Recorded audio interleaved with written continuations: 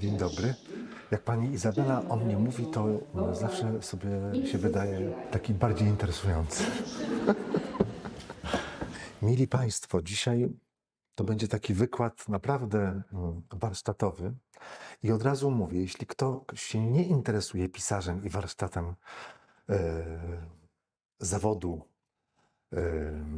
warsztatem w zawodzie reportera, e, to będzie nuda straszliwa. Także bardzo przepraszam, ale można wychodzić. E, można wychodzić, ja się nie obrażę. E, Dlatego, że dzisiaj chciałem pokazać kilka takich przykładów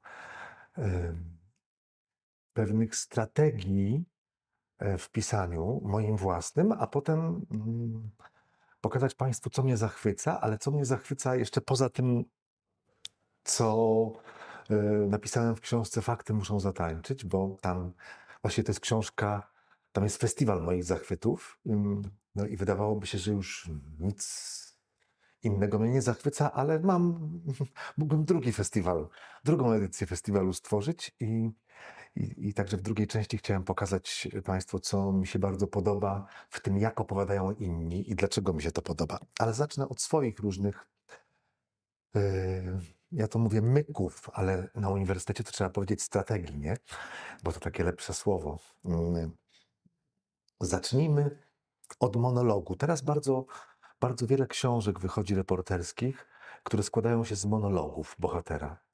Y, Młodzi y, reporterzy, młode reporterki bardzo łatwo bardzo szybko się orientują, że monolog jest łatwą formą.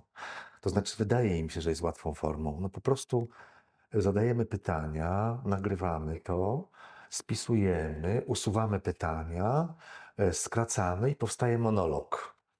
No i mm, teraz jest sporo książek, które składają się z 10 lub 12 monologów na wspólny temat. I to już jest taka, mm, taka klisza, taka, taka, taka moda trochę dla mnie nieznośna, bo mm, owszem, każdy z nas ma jakiś monolog na swoim koncie, ja też, ale mm, jak się tylko chce, chce opisywać świat w formie monologów, to mam wrażenie, że to że to za mało i że te monologi w takiej ilości się jakoś, jakoś tracą na, mm, na wartości. E, Monolog musi być napisany.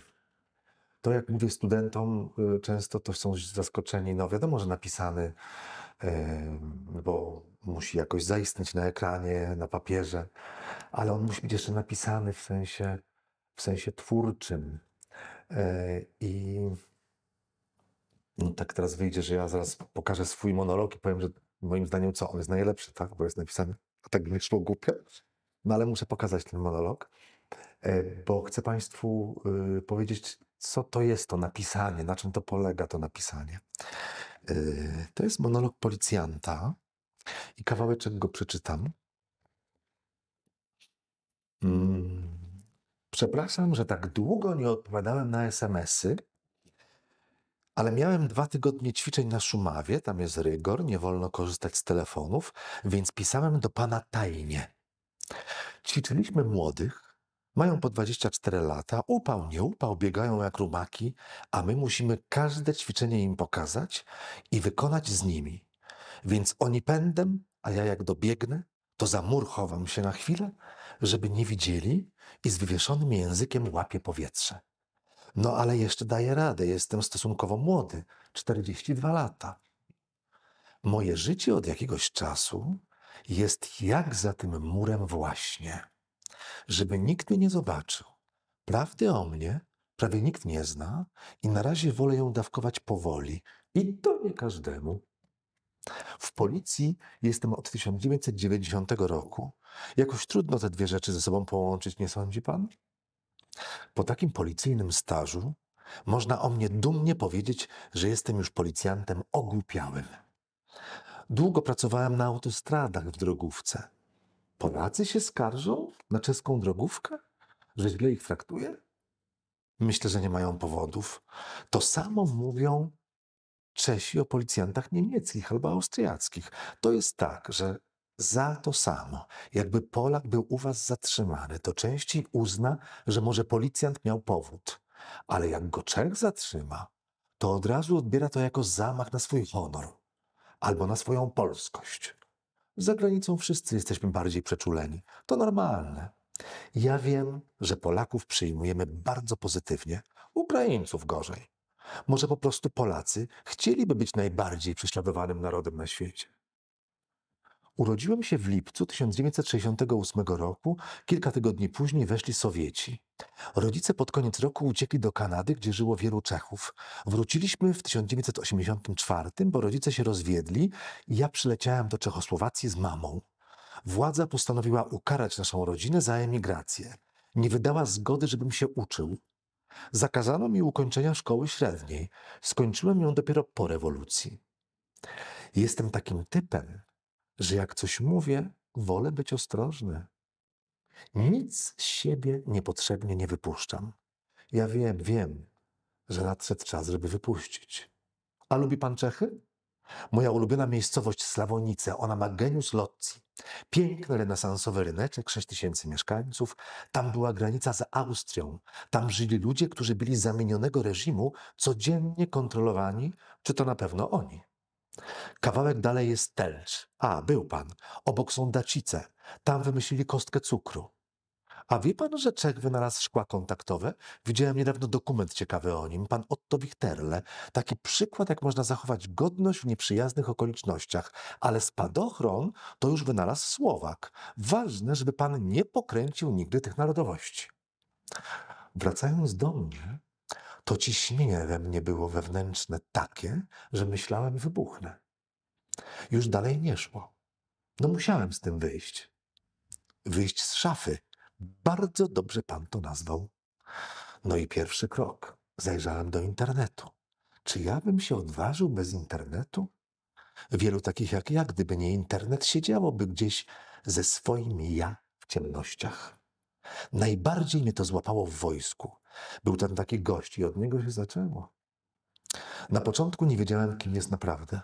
On dziś jest bardzo wysoko postawiony w archidiecezji ołomunieckiej. On mnie zaczął pomału wciągać w te tajemnice. Miał na imię Józef. Raz go strasznie chłopaki napadły, jak oni krzyczeli, że jest idiotą, a jego Boga to przyrównywali do męskiego przyrodzenia. A ja na tego Józefa patrzyłem i było mi strasznie przykro.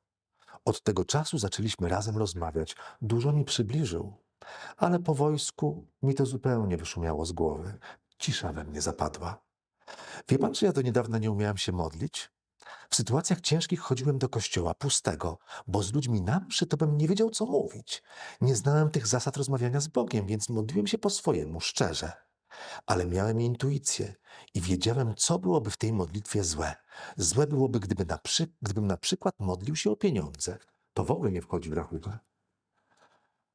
No, przyznać się teraz do wszystkiego na głos, to byłby szok dla niektórych. Ale ten moment się zbliża. Mamy trzy dziewczyny w pracy. Im już powiedziałem, reakcja była bardzo miła. Zachowują się świetnie, mają problemy w domu, a teraz chcą tylko ze mną o nich rozmawiać, a nie z kolegą. Gdyby kolegom powiedzieć, to nie wiem. No wie pan, jacy są faceci. Krzyżyk na szyi? Noszę go i w pracy, ale tylko w zimie. Bo mamy krawaty, wtedy go nie widać. A latem, kiedy koszula jest rozpięta, ściągam jednak, a latem, kiedy koszula jest rozpięta, ściągam, jednak chowam. Zdobyłem go w ciekawy sposób. Chciałem w sklepie internetowym kupić książkę Krzyż i Sztylet. Napisałem, że chcę książkę Krzyż i Sztylet, a oni wysłali mi krzyżyk i sztylet. Zrozumiałem, że ta pomyłka to znak, że krzyż pokona sztylet, wiara pokona zło. Nie, sztylet też mam ze sobą. Jak to go pan nie widzi? On jest w tym krzyżu. Proszę spojrzeć, on jest jednocześnie krzyżem i sztyletem z drugiej strony, jakby krzyż ze sztyletu zrobiony. Przyzna pan, że jako symbol jest po prostu doskonały. Wyraża moją filozofię. Ta wiara pokona każdy gwałt. Zresztą to też koresponduje z tym, co robię i w ogóle z organami ścigania. Nagle nadszedł dzień, kiedy poczułem, że psychika mówi: uspokój się i zacznij. Usiadłem przy komputerze i zacząłem na www.wiara.cz. Przepraszam, jest tak długi fragment, ale kiedy rozmawiałem z tym policjantem o imieniu Milan, mm, to e, rozmawialiśmy dwa razy długo. Bardzo, mm, czy zwróciło moją uwagę, to, to właśnie trzeba mm, Czasami są rzeczy, które zwracają naszą uwagę poza, poza treścią, poza tym, co ktoś mówi. Y, ten sposób y, mówienia o swojej tajemnicy. No tą tajemnicą jest to, że on jest wierzący, że on nagle uwierzył w Boga. Tam oczywiście jest dalej historia o tym, że e, e, mama się domyśla, mama się długo domyślała, ojcu powiedział na łożu śmierci dopiero. I jak mi tak rzucał te szczegóły, to pomyślałem sobie, że tak naprawdę to jest retoryka osoby LGBT, geja czy też lesbijki, którzy ukrywają swoją orientację. Prawda? I też się tak wahają. Temu powiem, temu nie powiem. Może jak powiem, to coś mi się stanie, może lepiej nie mówić. E, no po co rodzicom? Rodzice nie wiadomo, jak ojciec zareaguje. Lepiej, żeby nie wiedział. I no po prostu cały czas czułem te analogie. E, dlatego mu powiedziałem wyjść z szafy. E, I on powiedział, o, bardzo dobre, bardzo dobre określenie. No i czy ten monolog wyglądał tak, jak, tak jak, jak go czytam? Nie. To znaczy padło, wszystkie te zdania padły, ale w zupełnie innej kolejności. Po prostu rozmawialiśmy na różne tematy w różnym momencie. I najpierw mi opowiadał o swojej pracy w drogówce, potem e, o policji, potem o polityce rozmawialiśmy, potem o wojsku, potem o tym e, właśnie jak uwierzył w Boga, potem jak się zaczął modlić, a potem właśnie o tych e, wahaniach, o, o tej obawie, bo to jest w ogóle tekst o lęku przed niezrozumieniem, bo w Czechach nie ma jakiejś dyskryminacji wobec katolików, tych ateistycznych Czechach, bo to muszę przypomnieć, w tych bardzo sekularyzowanych cywilizowanych Czechach nie ma jakiejś, przynajmniej ja nie znam takich przypadków jakiejś dyskryminacji, która byłaby, yy, miałaby jakieś takie formy, bardzo bym powiedział, yy, drastyczne. Temu policjantowi chodzi tylko o to, że on chce być zrozumiany i boi się, że nie będzie zrozumiany, że, że będzie po prostu wyśmiany. O! E, albo że będzie lekceważony, że ktoś yy, yy, że ktoś powie na przykład coś, co by go mogło urazić, o, tam wierzysz w Boga, jakaś znowu głupota ci przyszła do głowy. E, I to są jego obawy. I chciałem tę delikatność pokazać, ale ponieważ przyszła mi do głowy ta analogia z osobą, która ukrywa orientację, tak jak on ukrywa to, że, wierzy, że uwierzył w Boga w tak późnym wieku, to postanowiłem, że będę dawkował w tym tekście te informacje. E, mam nadzieję, że jak zacząłem to czytać, ci, którzy nie znają tego tekstu z książki Zrób sobie raj, że e, mieli Państwo na początku wrażenie czy złudzenie, że to będzie o gejów policji. E, o to mi chodziło, o taki właśnie zabieg. W związku z tym, mając cały materiał od tego Milana, wszystko pięknie spisane, byłem trochę jak cukiernik czy kucharka, która po prostu bierze trochę tego, to tu, to tu, to tu i ułożyłem dramaturgię tej opowieści. I ona jest zupełnie inna niż ten facet y, y, y, mi to opowiadał. Znaczy, inna od dramaturgii prawdziwej, zwłaszcza, że spotkania były dwa. E, ale każde słowo jest prawdziwe. Ja jeszcze mu dałem do przeczytania, te, bo ja autoryzuję od wielu lat wszystko, co piszę o innych, u tych osób. I on to przeczytał, przetłumaczone na czeski. Specjalnie dałem do przetłumaczenia, bo on mówił po czesku, ja musiałem to napisać po polsku, po czym to znowu musiało być przetworzone, przetłumaczone na czeski.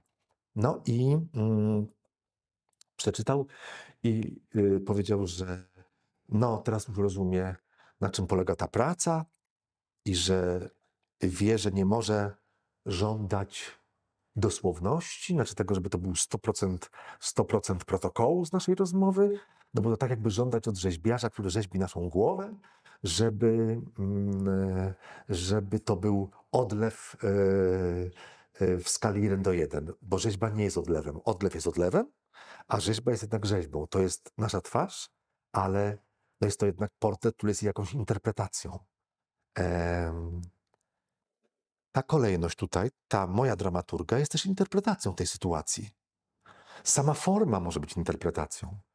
Ehm, interpretacją tej sytuacji, że człowiek o imieniu Milan w kraju, gdzie 85% czy nawet 90% obywateli nie deklaruje związków z żadnym mm, wyznaniem, ten człowiek się może czuć tak, jak w innym kraju się czuje osoba, która prawda, ukrywa coś innego. I, mm, no i o to mi chodziło.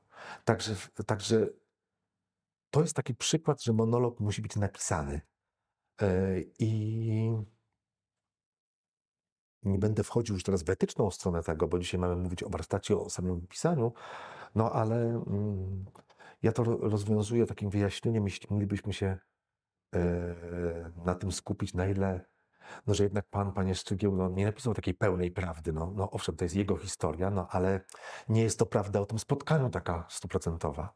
To ja wtedy przytaczam obraz René Maglita, taki o, i obraz, i rysunek, bo kilka rysunków zrobił, gdzie namalował fajkę i podpisał, to nie jest fajka. No bo to nie jest fajka. Chociaż to jest fajka na obrazie, bo to jest obraz fajki. No i reportaż jest czym? Jest obrazem faktów, a nie faktem. O, to tylko takie zastrzeżenie.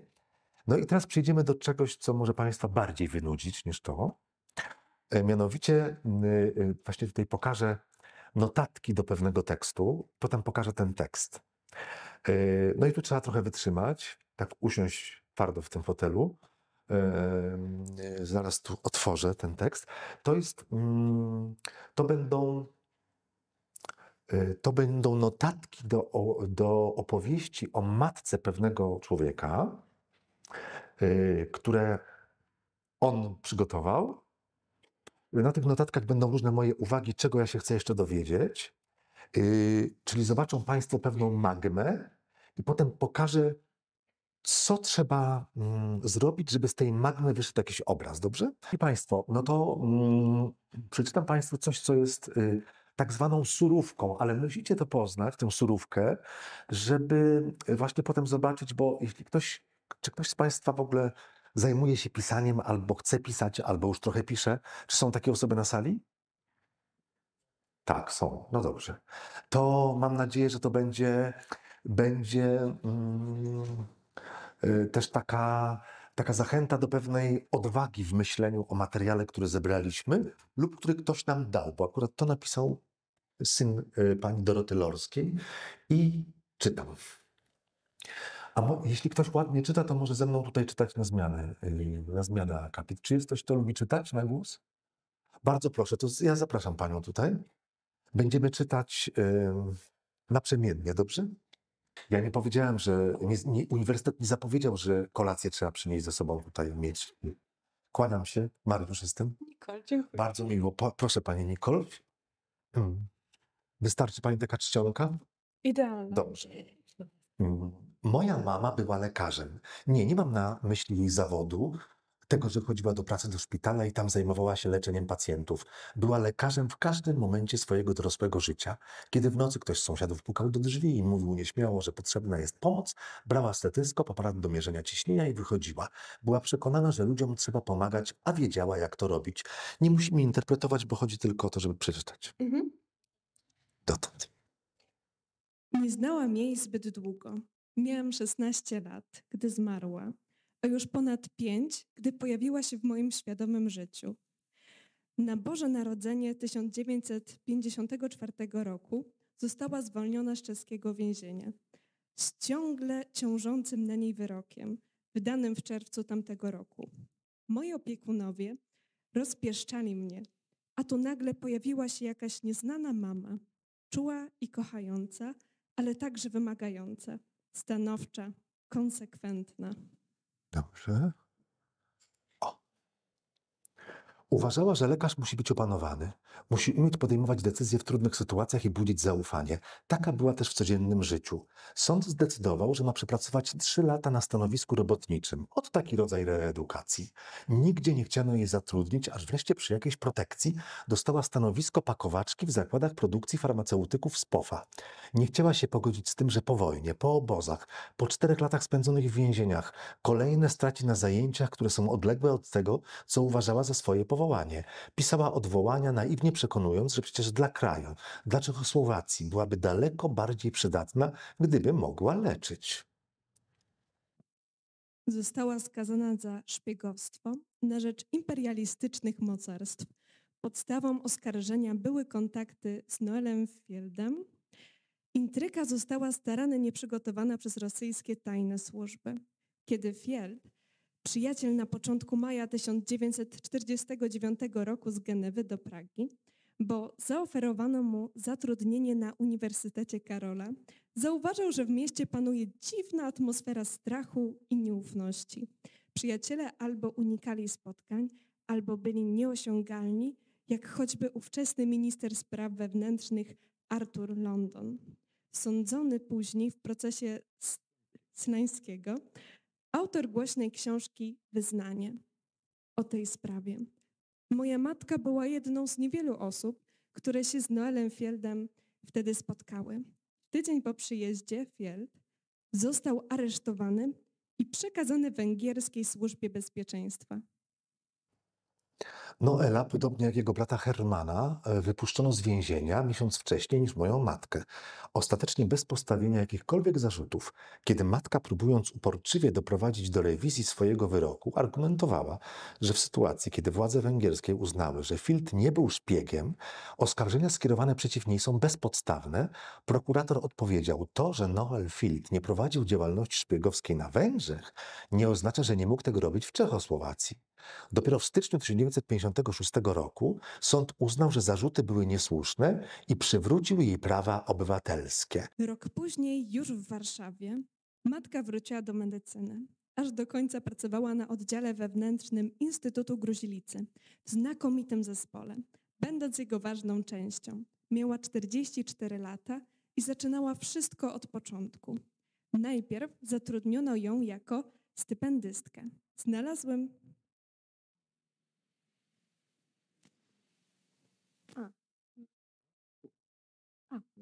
dobrze, czyli mhm, już widzę.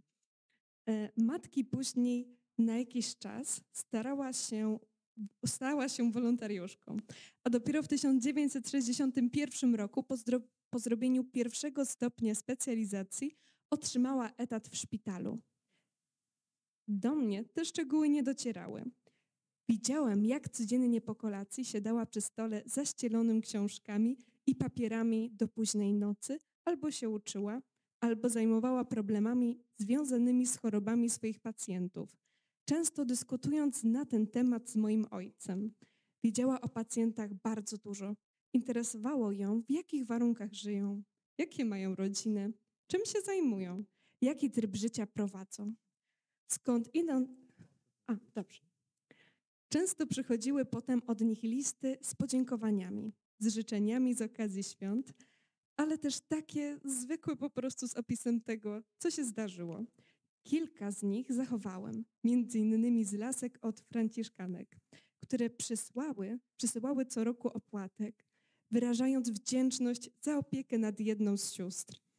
Nie omieszkawszy zaznaczyć, nie omieszawszy, nie omieszkawszy zaznaczyć, że modlą się za panią doktor ateistkę i komunistkę. Skąd inąd pamiętam, jak bardzo lubiły się ze wspaniałą pielęgniarką, zakonnicą, siostrą Bernadettą, która odnosiła się do matki z prawdziwą miłością i otoczyła ją niezwykle troskliwą opieką w ostatnich miesiącach życia, bo umierała w swoim szpitalu wśród przyjaciół. Niewiele było tego spokojnego, ustabilizowanego życia, wykonywania zawodu lekarza w warunkach pokojowych. Doświadczeń innych, trudniejszych nazbierało się wcześniej sporo. Zaraz po studiach pojechała do Hiszpanii i tam w szpitalach brygad międzynarodowych, często w warunkach zagrożenia, nauczyła się najważniejszych umiejętności, ale także koniecznego opanowania i odpowiedzialności za pacjentów. Kiedy podczas ewakuacji szpitala w Benicassim naczelny lekarz ośrodka kazał jej, jako najmłodszej z całego personelu, wyjechać z pierwszym transportem, odmówiła. Powiedziała, że musi zostać ze swoimi rannymi. Po wycofaniu brygad z Hiszpanii przedostała się do Paryża i tutaj zastał ją wybuch wojny. Pracowała w wielu szpitalach paryskich, na ogół pełniąc w nich dyżury, ale była też lekarzem konspiracyjnej czechosłowackiej grupy zbrojnej. Yy, yy,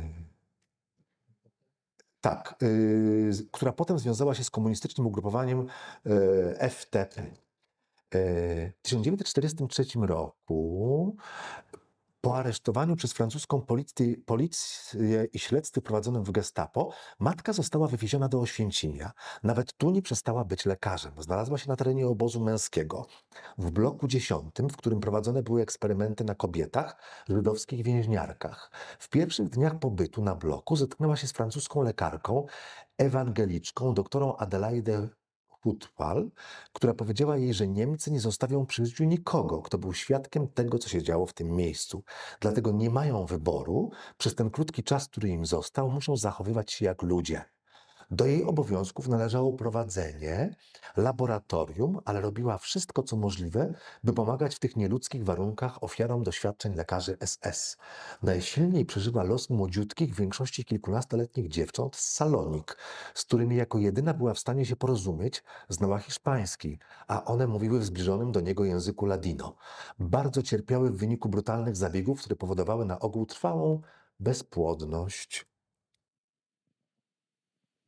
Matce trudno było zrozumieć, że niemieccy lekarze, nawet z takim dorobkiem jak profesor Ka Karl Klauberg, mogli się do tego stopnia sprzeniewierzyć swoim powinnościom. Przez cały okres powojenny dawała świadectwo temu, co widziała w obozie, przy czym skupiała się przede wszystkim na rzetelnym opisie eksperymentów i postaw lekarzy, próbując zachować obiektywizm. Stąd starała się bronić doktora Hansa Müncha, jedynego spośród niemieckiego personelu, który przejawiał pewne cechy ludzkie. W 1947 roku jako lekarka czechosłowackiej misji repatriacyjnej w Paryżu pojechała do Kanady, gdzie udzieliła wywiadu, gdzie udzieliła wielu wywiadów na temat doświadczeń pseudomedycznych w obozie oświęcimskim. Wygłaszała na ten temat odczyty.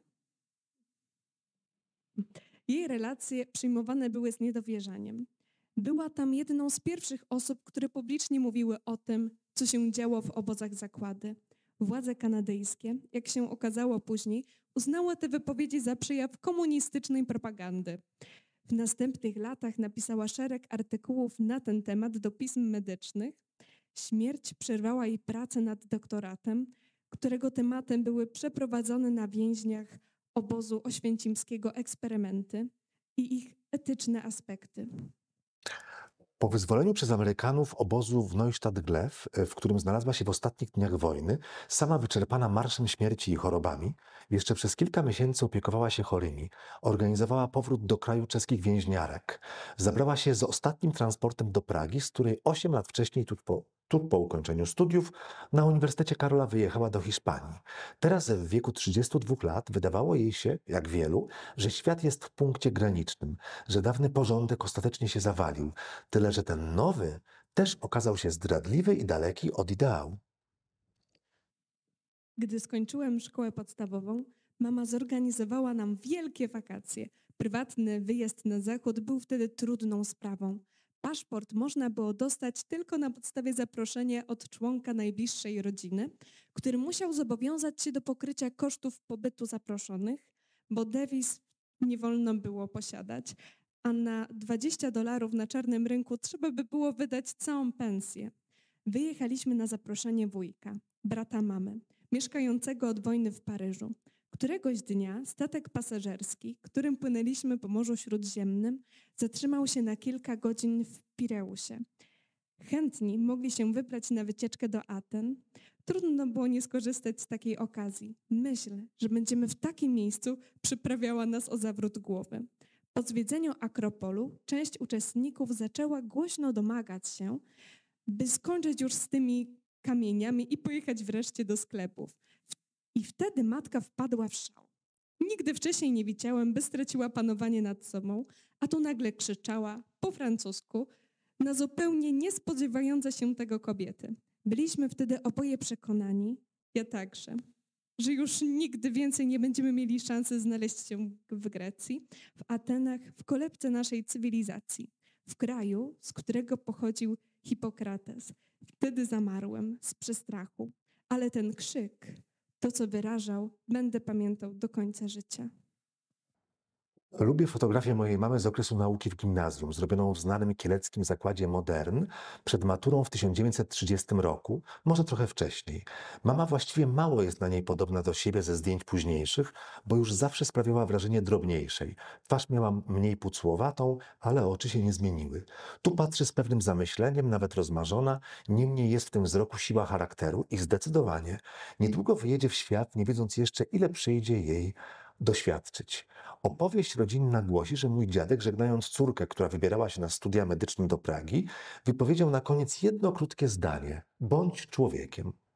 Józef e, Goldscheider był znanym w Kielcach malarzem pokojowym, działaczem Związku Rzemieślników Żydowskich, a tuż po I wojnie, choć nie był związany z żadnym ruchem politycznym, radnym miejskim.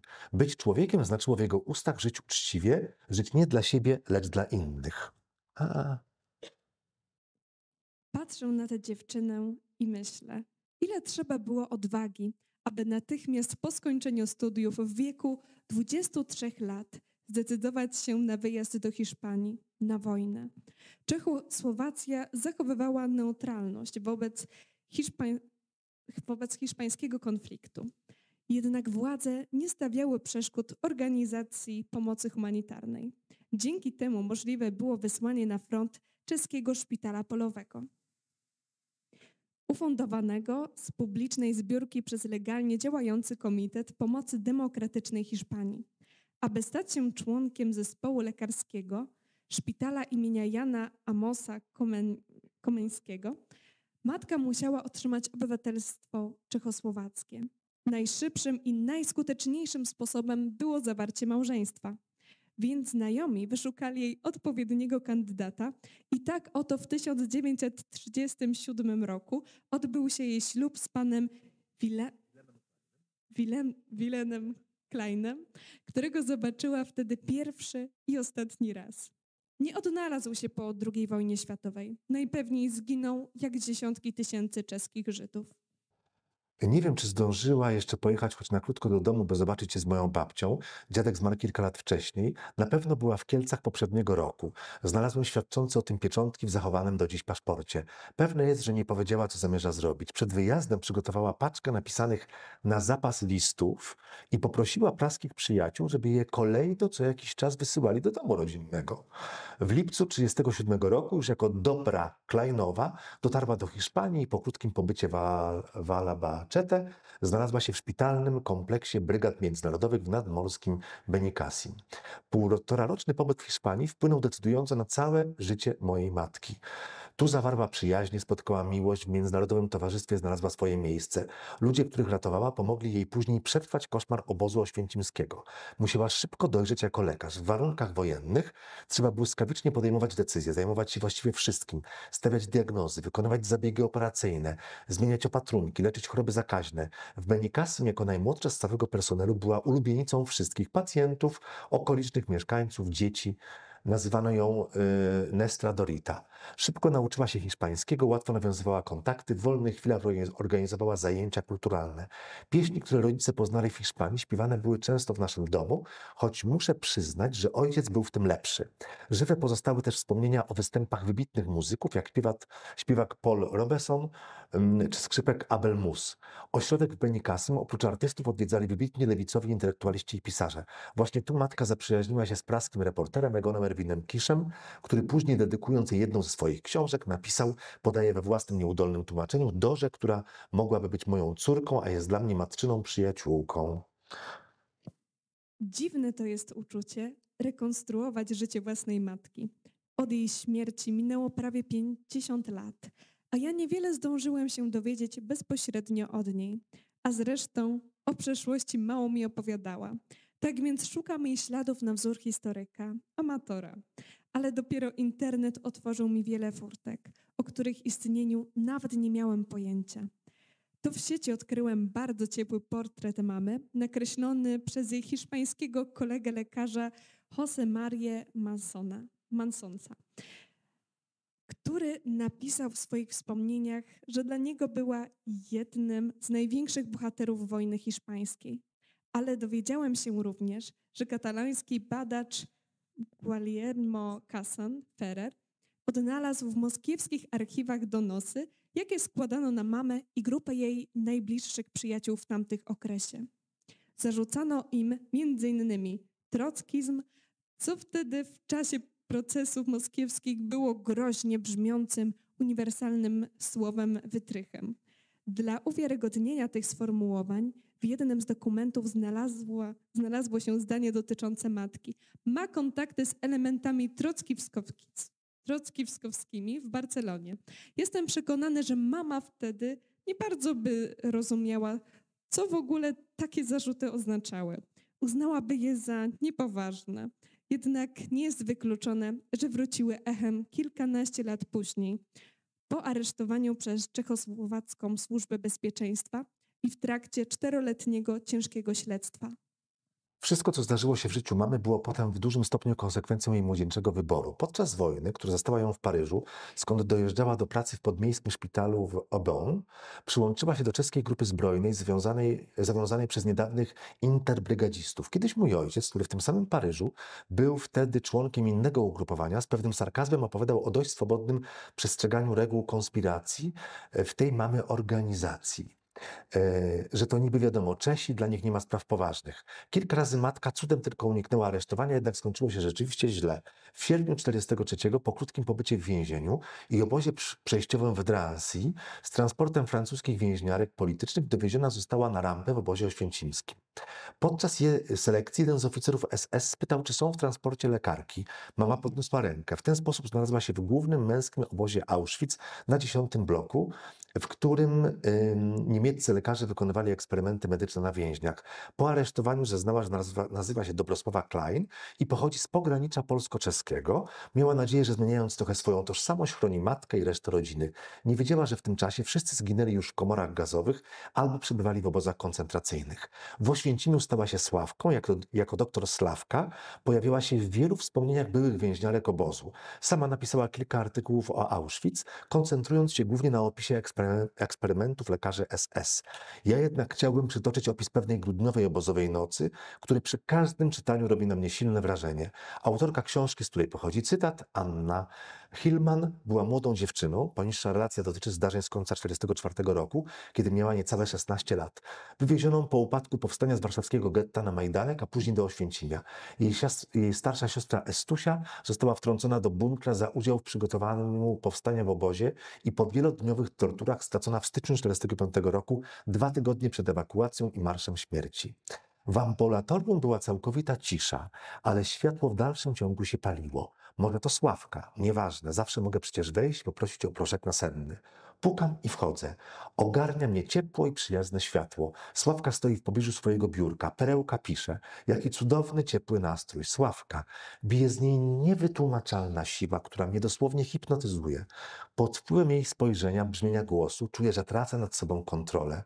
A, Hanka, wejdź, wejdź. Zaprasza mnie gorąco. Nie chcę ci przeszkadzać, mamrocze. Przyszłam tylko po proszek na sen. Nie, nie, wchodź, siądź z nami. Perełka wstała i zamieniwszy kilka słów ze Sławką, przeprosiła i wyszła. Przysunęłyśmy krzesła bliżej pieca i usiadłyśmy. Wiesz, Jakub był tam wczoraj, w bunkrze u Estusi. Zaczęła Sławka. Bardzo chciał się z tobą spotkać i bardzo był rozczarowany, że cię nie przyprowadziłam. Nie szkodzi, odpowiedziałam. Marta powiedziała mi, że wkrótce je wypuszczą. Po krótkiej ciszy Sławka zaczęła mówić na mój ulubiony temat o medycynie. Ciszę, w nocy, ciszę nocy zakłócał tylko głos Sławki, opowiadający o postępie w zwalczaniu raka i innych śmiertelnych chorób. Późno w nocy rozstałyśmy się i poszłyśmy spać. Mama zmarła w wieku 51 lat. Przyczyną śmierci był nowotwór złośliwy. Dziękuję bardzo. I teraz, mieli Państwo, dzięki, brawa dla Pani Nikoli. Mili Państwo, no przepraszam, że to trwało tak długo, ale musiałem, bo e, tak bardzo często wygląda materiał zebrany przez reportera, gdzie jest tam po prostu wszystko, gdzie jest wszystko i nie wiadomo, co z tym zrobić. I tak tego jest mało, to w czytaniu się wydaje długie, ale tak często wyglądają też teksty, które niektórzy piszą. No i to jest tekst, który napisał syn pani Doroty Lorskiej, pan Józef Lorski, który pozwolił mi wykorzystywać ten materiał w pracy warsztatowej. I tam oczywiście były e, pewne uwagi, ja sobie pisałem, o co jeszcze dopytać, bo pan Józef mi powiedział tak, panie Mariuszu, no Nie chcą mi tego wydrukować. No, no nie chcą mi tego wydrukować. No jak Państwo myślą, dlaczego? Dlaczego nie chcieli tego wydrukować? No szczerze. Chaotyczne. Bardzo dobrze.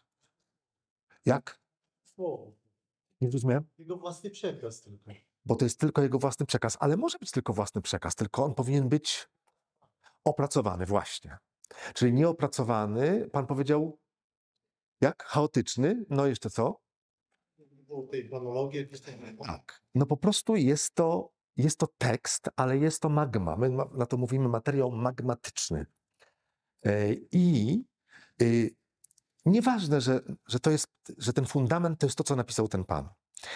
E, Bo spytał mnie, co z tym można zrobić i czy pan umiałby coś z tym zrobić, panie Mariuszu. No powiedziałem, że chyba bym umiał, jeśli jeszcze potwierdzi pan Józef moje różne intuicje dotyczące jej, jego mamy. Oczywiście tam jeszcze jest taka druga część moich notatek, gdzie pan Józef mi dał y, ź- m, linki do źródeł na temat matki, do różnych jeszcze przekazów. Ale udało mi się ustalić coś na jej temat, co sprawiło, że znalazłem operatora do tej historii. Nazywam to operatorem.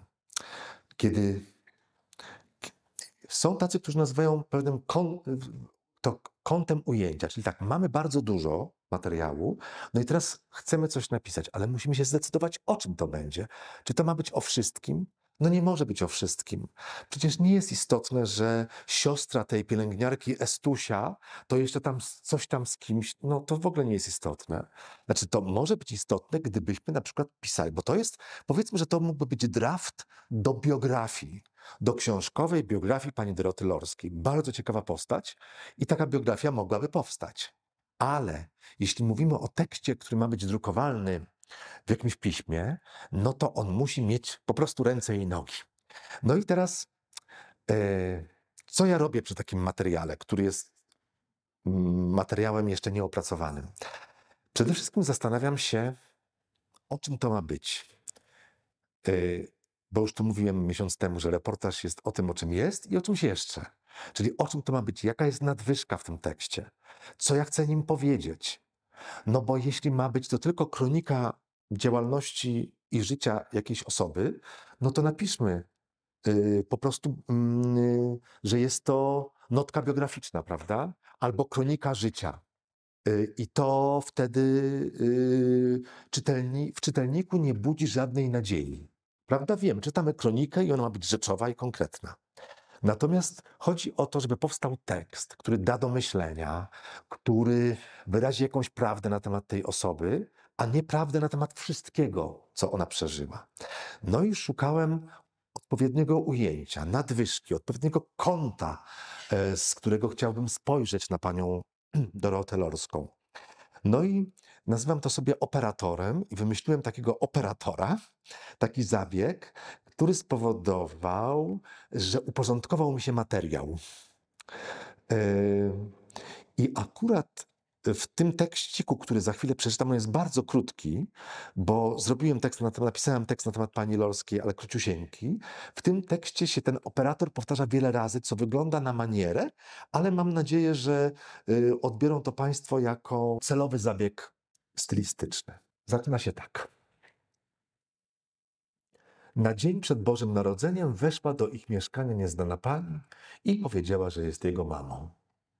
Miał pięć lat, chyba jej nie uwierzył. Nim umarła, spędzili ze sobą jedenaście zim.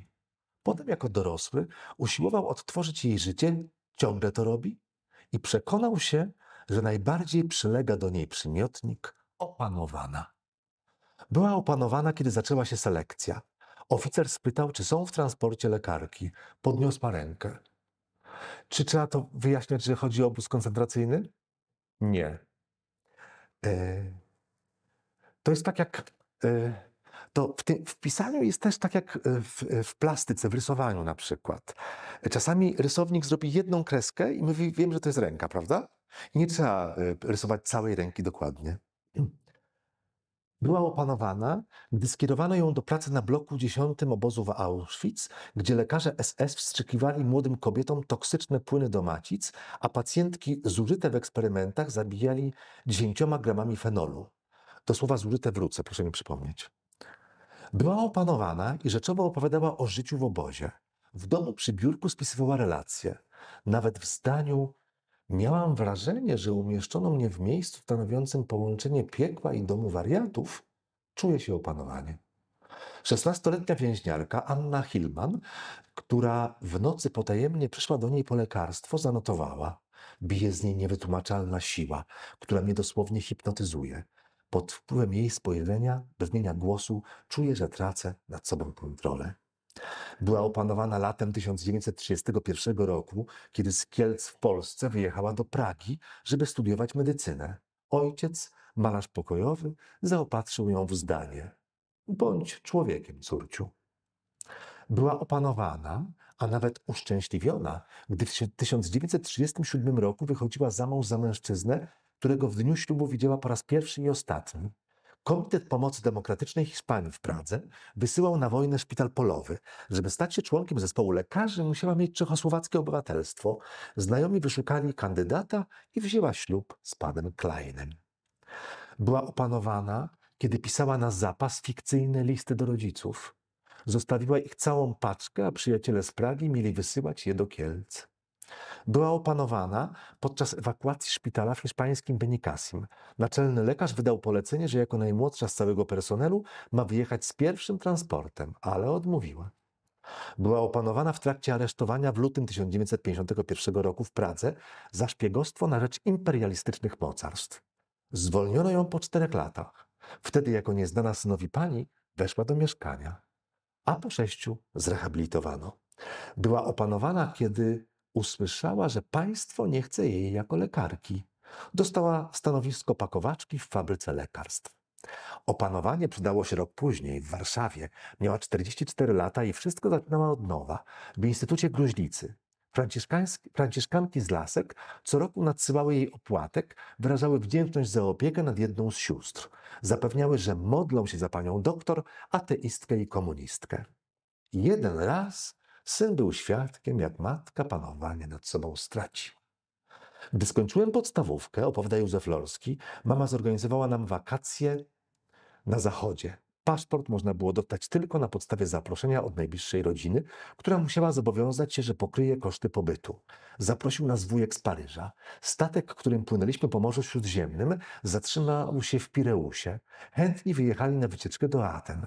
Myśl, że będziemy w takim miejscu, przyprawiała, przyprawiała nas o zawrót głowy. Byliśmy wtedy oboje przekonani, że w Atenach, kolebce naszej cywilizacji, nie będziemy już nigdy w życiu. Że to jedyna okazja i nikt nas więcej z komunistycznej, zamkniętej Polski nie wypuści. Na Akropolu niektórzy turyści zaczęli się głośno domagać, żeby skończyć już z tymi kamieniami i pojechać wreszcie do sklepów. I wtedy matka wpadła w szał. Nagle zaczęła krzyczeć na obce kobiety, rzucała przekleństwa. Zamarłem z przestrachu, a krzyk mamy i to, co wyrażał, będę pamiętał do końca życia. I to cały tekst. No znaczy, no nie, nie czytam tego dla braw, tylko chciałem powiedzieć, że tutaj, że ten tekst jest efektem decyzji pewnych, drastycznych decyzji. O czym to ma być? No, zainteresowało mnie, zainteresował mnie charakter tej kobiety, dosyć niezłomny. I właściwie to jest i taka, takie opanowanie i, i, i siła tego charakteru, ale tak naprawdę ten tekst jest dla mnie o czymś innym. Ta nadwyżka, ten, e, e, e, ten naddatek, to jest zupełnie o czymś innym. Ten tekst mógłby mieć tytuł Wycieczka do Grecji. Bo dla mnie to jest opowieść, no o niej, ale dla mnie to jest opowieść o sile sztuki, sile historii, o sile e, pewnych, no jak to nazwać ten, tą siłę antyku, pewnych tradycyjnych wartości, które są tak dla takiej osoby ważne, że ona w tym wypadku traci opanowanie, prawda? Czyli, yy, czyli de facto to jest trochę o czymś innym niż się wydaje na początku, przynajmniej w moim założeniu. Nie wiem, czy Państwo tak odebrali.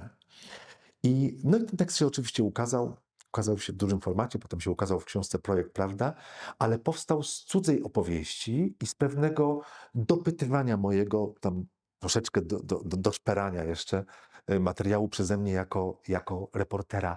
No i tutaj mm, przy pisaniu musimy y, dokonywać y, selekcji, musimy dokonywać wyboru.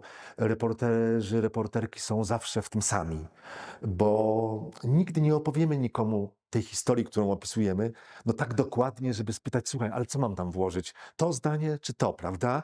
Ale napisać, że bardziej poszła tam, czy może to w ogóle nie jest ważne, tylko ważniejsze. Ktoś nam może doradzić, ale inni nie są tacy chętni do słuchania tych naszych dylematów, więc jest się z tym zawsze samemu. E, No, oczywiście nie zawsze ten operator, to ujęcie, ten kąt, czy jak tam to nazwać, y, musi być y, y, refrenem, który, który, który się powtarza, tak jak tutaj była opanowana. To wcale nie o to chodzi. Można zupełnie inaczej mm, ustawić tę historię. To tylko jest taki przykład właśnie, jak, jak to się dzieje, przynajmniej w moim przypadku.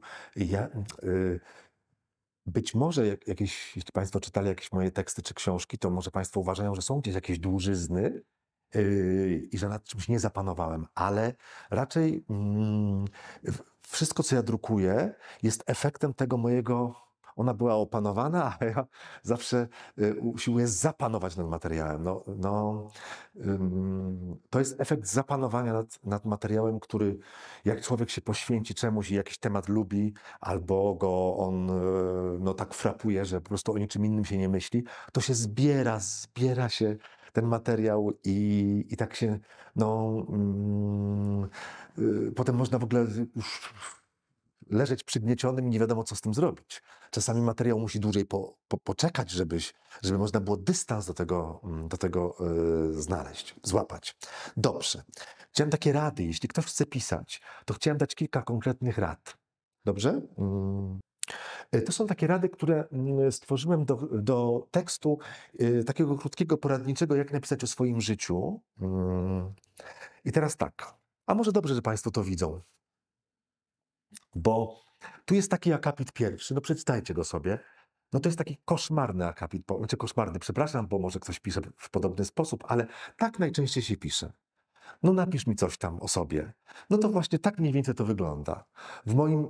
A, no dobrze, to będę czytał. W moim życiu niczego nie żałuję. E, Wychodzę z założenia, że wszystko, co przeżyłam, bądź też przeżyłem, wszystkie błędy, które zdarzyło mi się popełnić, wszystkie dobre i złe doświadczenia mają swój sens. No i mijają trzy minuty i kurczę, nic nie pamiętamy z tego, prawda? Nic. No musimy znaleźć sposób na pisanie. No to się nie może tak wylewać. Znaczy, może się wylewać, jeśli mm, chcemy to napisać dla siebie, ale jeśli chcemy to napisać dla kogoś, do kogo ten tekst ma dotrzeć, no to musimy troszkę popracować nad nim. I kilka takich rad, jak popracować. Więc to, co przeczytałem, co Państwo zobaczyli, to jest trochę ze banał i tak pisze każdy. A wiadomo, że ten, kto zaczyna pisać, nie chce pisać jak każdy, prawda? No to moje propozycje są takie. A propos tego, a propos tego, co usłyszeliśmy i nie jesteśmy już w stanie powtórzyć, nie? Jak to, że co tam było, że nie żałuję niczego, tak? Nie żałuję i co jeszcze? Nie, potem już były jakieś śmieci słowne. Nie wiadomo co właściwie. Więc zacznij od razu. Nie żałuję ani jednej nylonowej pończochy porwanej przez kochanków. No przecież to jest to samo. Przecież to jest to samo, tylko jest szczegół. Od razu widzimy tę osobę. Już, już mamy informacje o jej życiu. Oczywiście, jeśli to pisze osoba, która y, nie ma kłopotu z tym, żeby mówić, yy, na przykład na starość, że bogate życie uczuciowe czy erotyczne. Nie, e, nie pisz, mama była zawsze elegancka. No bo to, jest, to nie działa na wyobraźnię. Tylko mama bez makijażu nie wynosiła nawet śmieci. Nie pisz, babcia była bogata, ale skromna. Tylko babcia nigdy nie dała po sobie poznać, że ma dwie służące. No, mamy konkret, mamy szczegół. Szczegół działa na wyobraźnię i szczegół też powoduje, że my się utożsamiamy z, tym, y, z tą historią, znaczy utożsamiamy się, no widzimy to wszystko, prawda? Jakby to było w naszym życiu. Nie pisz, poznaliście fa- a to już jest typowy, to już, no ale pow- dobrze, to już powiem. Nie pisz, y, to jest typowy dla mnie przykład, nie pisz, poznali się w fabryce fortepianów, gdzie razem pracowali, tylko poznali się przy polerowaniu klawiszy. Nie pisz, mama często straszyła mnie samobójstwem. No dobrze, możesz tak napisać, ale zaraz daj przykład, rozwin. Mamusia wychodzi, jak będziesz grzeczna, to mamusia wróci. Jak będziesz niegrzeczna, mamusia dowie się, skoczy do rzeki i już nigdy nie wróci. Mówiła. No ale to jest to. Mamy przykład. Umiemy się od razu wczuć w to dziecko, prawda? A mama często straszyła mnie samobójstwem. Nie bardzo. Nie opowiadaj wszystkiego. Twoje życie jest w całości ciekawe tylko dla ciebie. To trochę ten poprzedni przykład, prawda, y, y, panie Doroty Lorskiej. Y, Porządkując materiał o sobie lub o kimś, możesz wybrać momenty, które ciebie samą, samego najbardziej zaskoczyły. No bo jakoś to trzeba właśnie uporządkować, znaleźć tego operatora. No i teraz no, mam, całe to, mam całe życie, nie? Co tu opisywać? No to sobie wybrać te właśnie takie, bym powiedział, e, smaczki. Smaczki to przyjdą, ale coś, co zorganizuje te smaczki. O, kto powiedział, że smaczki? Bardzo dobrze. E, kim pan jest z zawodu? Ja jestem księgarzem. Księgarzem. A, no to pan jest człowiekiem literackim, pan ma kulturę literacką. E, więc tak. Porządkując materiał o sobie, możesz wybrać momenty, które ciebie samą, samego najbardziej zaskoczyły. W jakiej sytuacji pierwszy raz nakrzyczałaś na mężczyznę? Kiedy pierwszy raz powiedziałaś matce, żałuję, że się urodziłam? W jakim momencie po raz pierwszy byłaś dumna ze swojego życia? Kiedy szefowa pierwszy raz powiedziała, że jesteś niezastąpiony? Postaraj się przypomnieć sobie wszystkie myśli i uczucia, które towarzyszyły ci przy pierwszym razie, jakimkolwiek pierwszym razie. To pozwoli lepiej napisać ten akapit. A może podziel swoje życie na momenty jasne i ciemne. Ułatwi to posegregowanie materiału. Tutaj jak pani Izabela dzisiaj przytaczała bohaterkę yy, tekstu o Excelu życia, no to właśnie ta pani sobie podzieliła tam sukcesy. A, i właśnie bardzo dobrze pani Izo, że pani powiedziała, że y, ta moja bohaterka tam przeżyła 507 czy 517 sukcesów do momentu rozmowy z reporterem. To jest, o to jest ta precyzja, bo dziś minęło tam, minęły 4 lata, na pewno ma więcej ta pani Ewa tych sukcesów. Podziel na momenty wstydu i dumy. A może łatwiej będzie ci, jeśli napiszesz opowieść o wszystkim, czego nie chcę pamiętać. O, tak swoje życie sprofilować. O wszystkim, czego nie chcę pamiętać. Albo o wszystkim, co chcę zapamiętać. I już nam to porządkuje, już mamy operatora, prawda? Choć szczerze mówiąc, ten drugi tytuł trochę zalatuje taniością. O wszystkim, co chcę zapamiętać. E, Może trzeba wypuścić powietrze z tego zdania. Jak? Napisz na przykład, o czym chcę pamiętać, nawet w trumnie. Takie zdanie zwraca uwagę czytelnika i przedstawia cię jako autorkę, autora, który ma dystans do siebie i do życia. No to może wystarczy dumnie w mojej trumnie. Chcesz napisać o ojcu? Podziel jego historię na siedem scen. Każda niech ma po siedem zdań. I tyle. Wystarczy. Tekst będzie skondensowany. Musisz się nauczyć syntetyzować treść, jeśli trzeba. Siedem momentów, za które kocham swojego ojca. Siedem chwil, w których nienawidziłem swojego ojca. E, siedem razy, kiedy chciałam zabić tatę. Siedem razy, gdy zazdrościłam mamie, że jest żoną taty. I tym podobnie. Tylko nie możemy się powtarzać. Każdy akapit musi dodawać do tematu coś nowego. Eee, no, to takie proste rady, bardzo proste. I wydaje mi się, że jak em, znajdzie się pomysł na, na tę konstrukcję, na formę, to już wtedy łatwiej, łatwiej się pisze. No to to są takie moje tajniki pisania właściwie. Mm. Właściwie można uznać, że już mogą Państwo iść do domu i zacząć pisać. Naprawdę, bo tutaj nie ma wielkiej y, filozofii, tylko trzeba znaleźć sposób. No. Ten sposób się znajduje przez chodzenie na jakieś zajęcia, ale też przez czytanie innych. No i a propos czytania innych, to tylko chciałem, już zaraz oddaję głos pani Izabeli, chciałem tylko takie przykładziki dać jeszcze inne niż w tych. Inne niż w, w faktach, książce Fakty.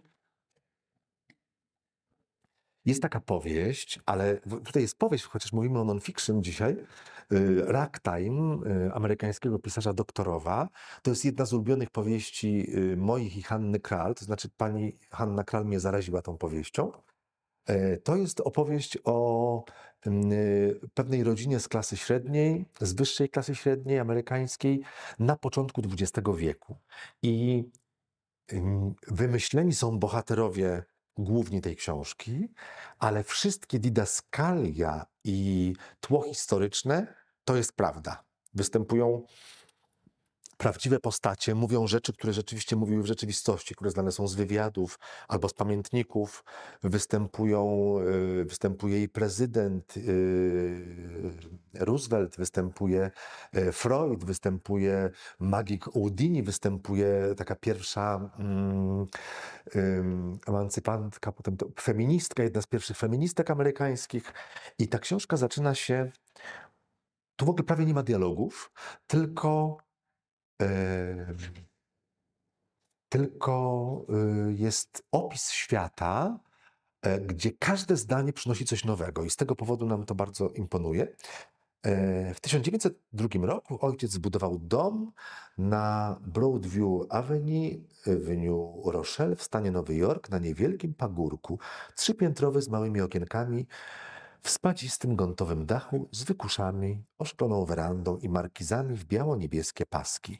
Wprowadziliśmy się do tego solidnego domu pewnego słonecznego czerwcowego dnia i przez wiele lat żyliśmy w przekonaniu, że wszystkie nasze dni będą zawsze ciepłe i jasne. Główne dochody ojca pochodziły z produkcji materiału na flagi, flag, najrozmaitszych dekoracji patriotycznych, a także sztucznych ogni. We wczesnych latach XX wieku na patriotyzmie można było jeszcze zarobić. Prezydentem był Teddy Roosevelt. Ludzie mieli zwyczaj zbierania się tłumnie na dworze, organizując parady, koncerty publiczne, degustacje smażonych ryb, pikniki polityczne, zbiorowe wycieczki w halach, na wiecach, koncertach, przedstawieniach wodywilowych, operach i balach.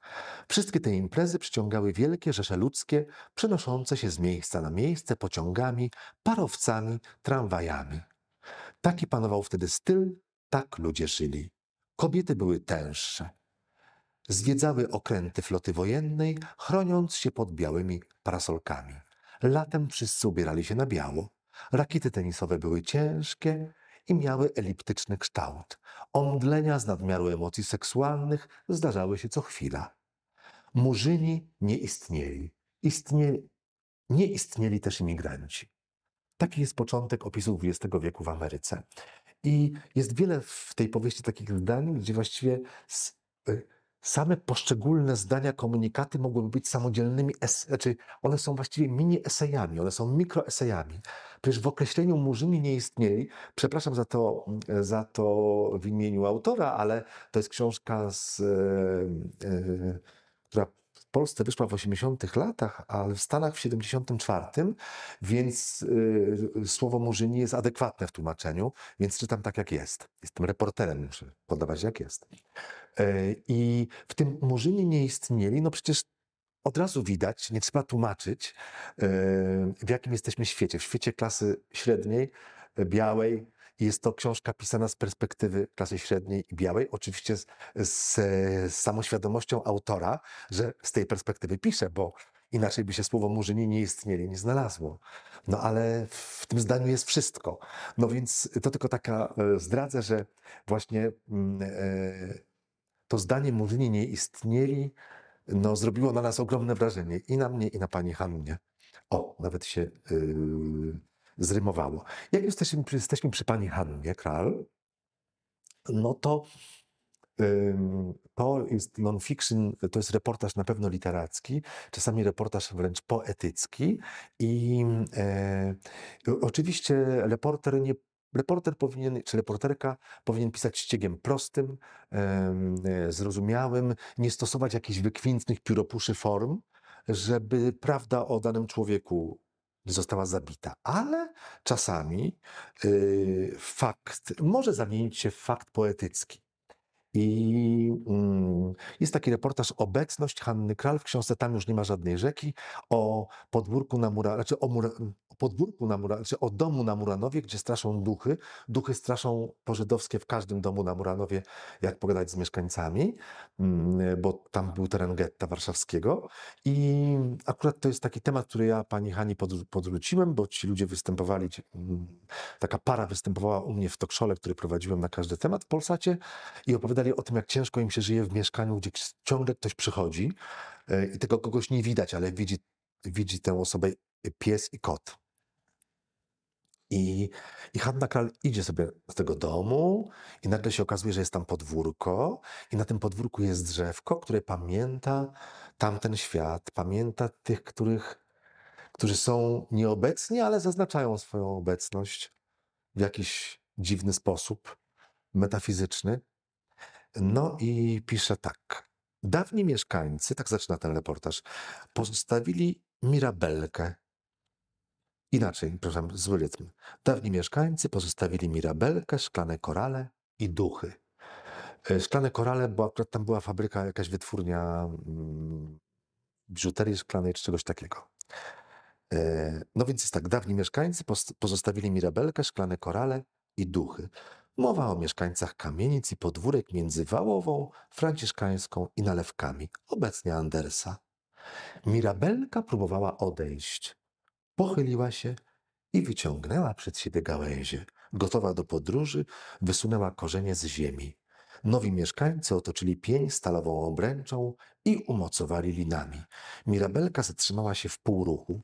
Kobiety smażyły konfitury z jej żółtych, trochę cierpkich owoców. Taki jest wstęp do tego reportażu.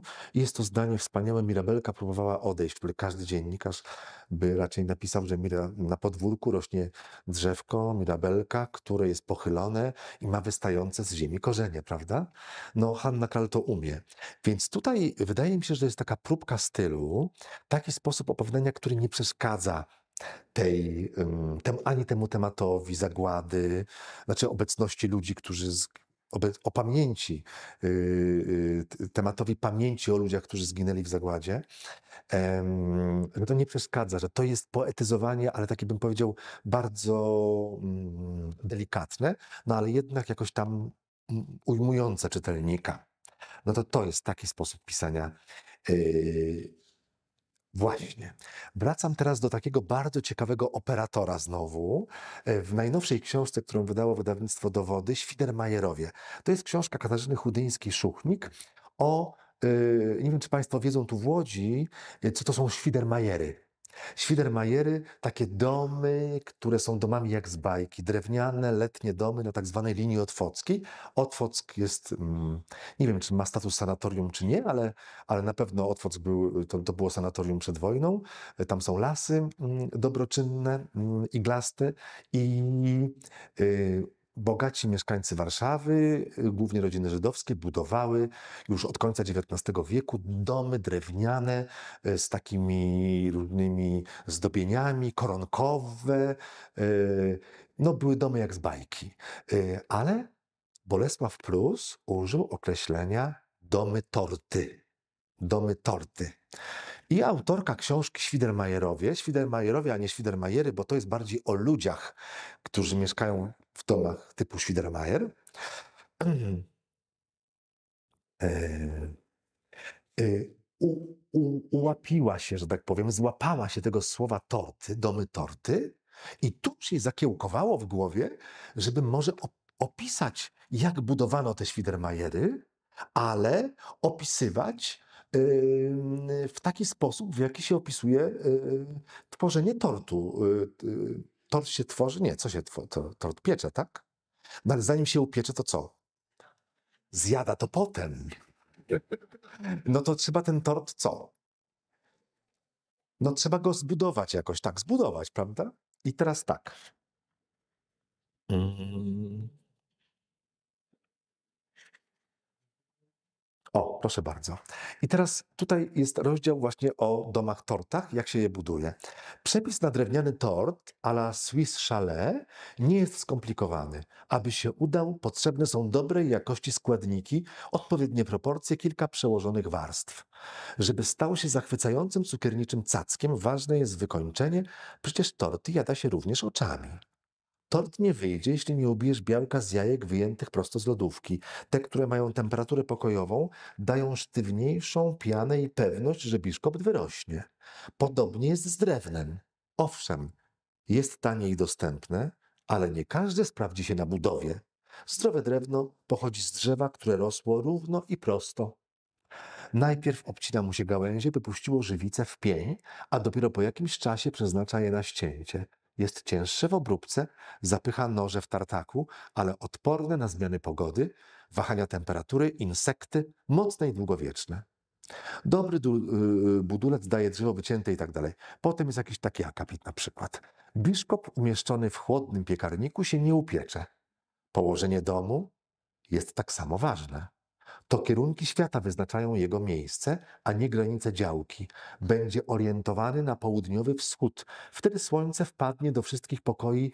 Rano jego promienie będą jak najlepszy budzik.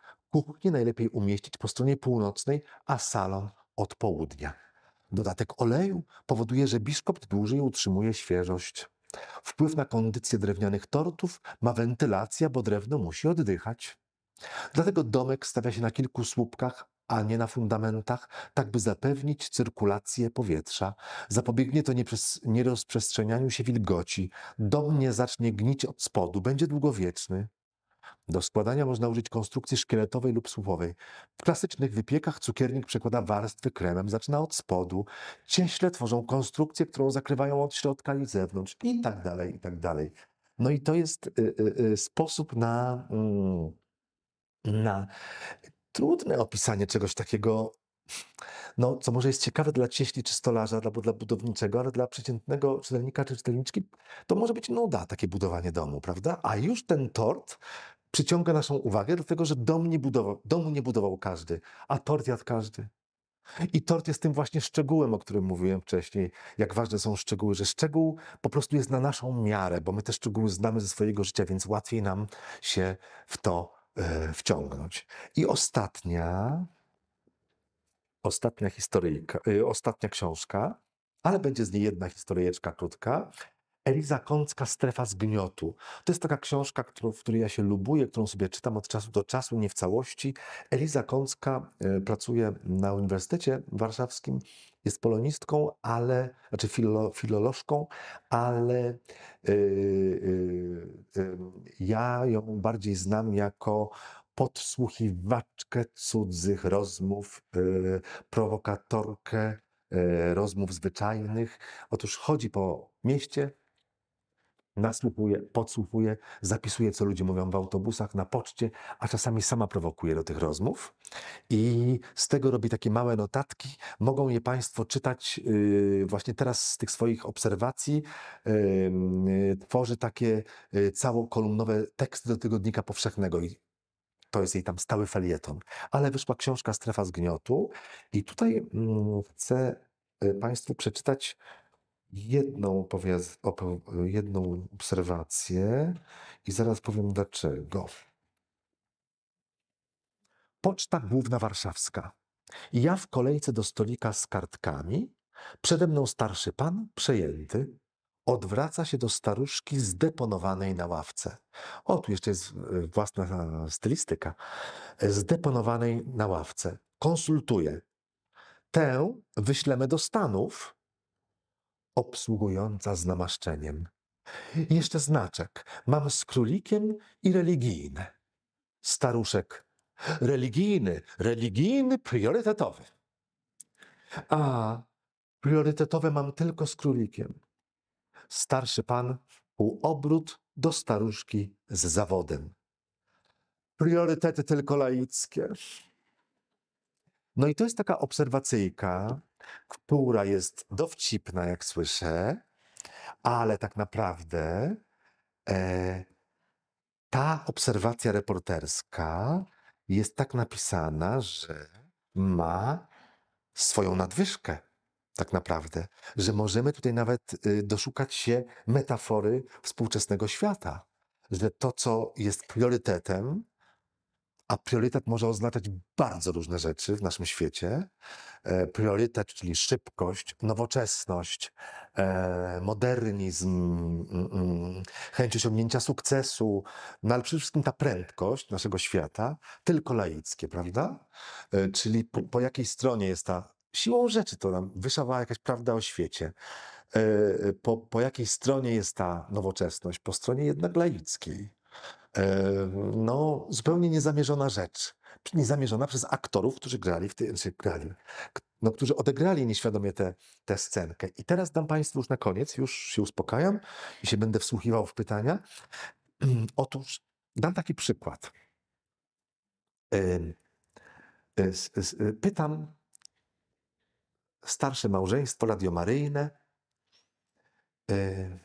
co to jest stolica apostolska? Hmm. A, jeszcze tylko dodam didaskalia, bo nie każdy może y, wie. Y, Tamka to jest ulica w Warszawie. Tamka, ulica Tamka. Y, Pytam, co to jest stolica apostolska? No bo pada to określenie często w mediach, zwłaszcza rządowych. Stolica apostolska, stolica apostolska. Zastanawia się pani, no. Hmm. No to, to jest coś z kurią chyba. No gdzie tam z kurią, mówi pan? Stolica apostolska? No przecież to jest. Ja wiem, to jest na tamce. No i teraz mają Państwo tę samą reakcję, co na tamten tekst. I czym się one różnią, w moim pojęciu, w swej jakości obserwacji? Tamto ma nadwyżkę, a to nie ma. To jest tylko dowcipne. W tym jest tylko, tylko dowcipne, że ktoś myśli, że stolica apostolska jest na tamce. Nic z tego nie wynika, przynajmniej dla mnie. Może jakbyśmy tu zrobili seminarium, to może byśmy się doszukali tutaj jakiegoś znaczenia w tym, w tej obserwacji czy w tym zapisie. Ale tam jest nadwyżka i większość y, y, tekstów Elizy Kąckiej, tych obserwacji ma właśnie, ma właśnie tę nadwyżkę. Można się w niej tego doszukać i za to też właśnie cenię, cenię jej te obserwacje i to pisanie. One są trochę trudne do czytania, dlatego że tam nie ma, nie ma dużych i małych liter. Wszystko jest pisane małą literą y, i, i nie ma akapitów, nie ma wcięcia akapitowych, więc ym, Eliza Kącka traktuje te teksty jak taką organiczną, organiczną mm, mm, mm, masę, orga, no jak coś takiego, taką, tak, jak to nazwać? Taką jedną płaszczyznę, jedną taką plamę. O! I trzeba się w to wgryźć. Ale może właśnie to, że nie ma wcięcia akapitowych i nie ma małych i dużych liter, sprawia, że y, dłużej się nad tym zastanawiamy i może łatwiej doszukać się tego podtekstu. O właśnie, nadwyżka to jest też podtekst. O, przypomniało mi się, a ja używam nadwyżka, bo już podteksty są jeszcze. No to tyle o tym, y, jak piszę ja i jak y, y, piszą inni z jej strony.